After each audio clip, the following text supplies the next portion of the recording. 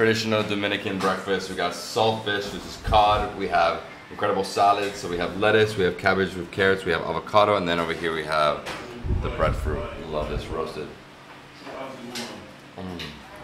So soft. Oh wow. Mm. Smoky too.